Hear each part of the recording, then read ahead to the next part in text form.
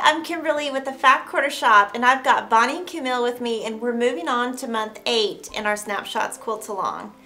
This quilt along benefits the St. Jude Research Hospital and we're hoping that for this pattern you can donate just $5. Block 8 is called Like Riding a Bike. I personally am not a bike rider, but I love this block. It's so intricate and so cute and there's nothing else out there like it. This is actually my favorite block in the whole quilt too. It's just so cute, that tiny little bike. I actually do have a tiny bike story though. Um, so my husband uh, likes to bet me that I can't do things. And I always have to prove him wrong, and he knows that going into the bet. And so he bet me that I couldn't ride this little tiny bike that was my three year old bike. And so, of course, I did, and I have the picture to prove it. But um, I think that was probably the last time I was on a bike for a little while. It, it was it was pretty funny. So, so let's go sew this block. And when you're sewing, think about Camille. Download the Snapshots pattern at the Fat Quarter Shop. Cut your fabrics and label them with your alpha alphabetties. Use Aurifil color 2000 since it matches the Daysail fabric perfectly. Sew with a quarter inch seam allowance and press according to the pattern. We're going to start with our handle unit. You're going to assemble one fabric T rectangle and a fabric AC rectangle and press. Then add your fabric H rectangle and press. Then add your fabric G rectangle. You're going to make one.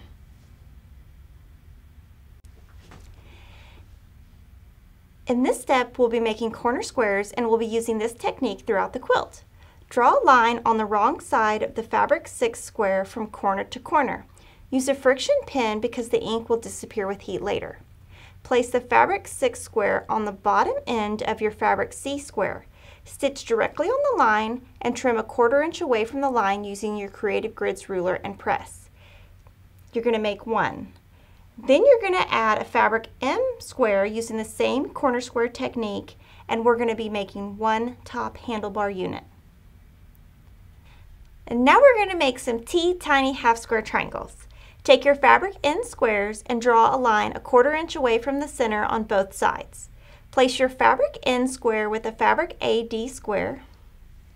Place the fabric's right sides together, stitch directly on your lines, and cut in the center. You're going to make eight red half square triangle units. Then you're going to do the same thing with your fabric N and fabric Z squares, and you're going to make eight aqua half square triangles.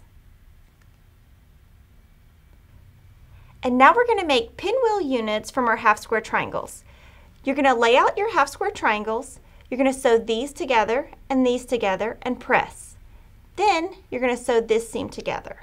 We're going to make two red pinwheel units and two aqua pinwheel units. Now you're going to use one red pinwheel unit and two aqua pinwheel units and three fabric K squares to make one complete pinwheel unit. Then you're going to assemble one red pinwheel unit and a fabric L square to make a right pinwheel unit. You're going to make one and make one. Sew together your previously made units and a fabric S rectangle to make your top bike unit.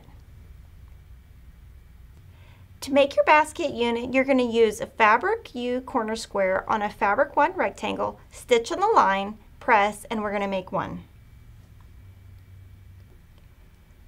Mark a dot 2 inches over from the bottom left corner on the wrong side of the fabric 7 rectangle. Draw a line from the top left corner to the dot. Place the fabric 7 rectangle on a fabric I rectangle and press.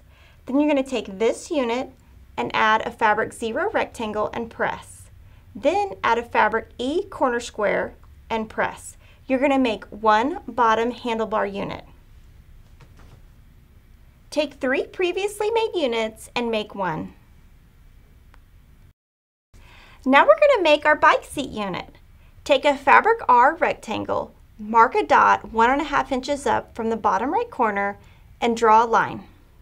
Place your fabric R rectangle on a fabric AA rectangle, stitch, and press. You're going to take this unit and add a fabric X corner square to make this. We're going to add this unit to a fabric Q rectangle to make one complete bike seat unit. We're moving right along. We're going to take a fabric A square, and draw a line from corner to corner. Place your fabric A and fabric 5 squares right sides together, stitch directly on the line, and you have one half square triangle. You're going to add a fabric B cornerstone and press. Keeping the direction the same way, we're going to add a fabric 9 rectangle and press, and then a fabric 8 rectangle and press. Now we're going to add a fabric AB rectangle and a fabric J rectangle, press. Then add a fabric W and fabric D rectangle and press. And then you're going to take the two units we just made and add a fabric V rectangle to make your middle bike unit. And now we're going to make our wheels. Add fabric 2 squares to a fabric Y square and press. Then you're going to add two fabric 4 rectangles and press and two fabric 3 rectangles and press. Make two. Add fabric F squares to your previously made unit and we're going to make two. Assemble two previously made units for the bike wheel spoke unit and assemble two previously made units for the right bike unit. We're going to make one of each. Assemble two previously made units with a fabric O rectangle to make your left bike unit. Now we're almost done. This block is so cute. You're going to assemble these two units, press, and add your last unit, and you're done. Thanks for watching. Be sure to come back next month on the 15th for another new quilt block. And please donate. We can make a difference in the lives of the children and families of St. Jude.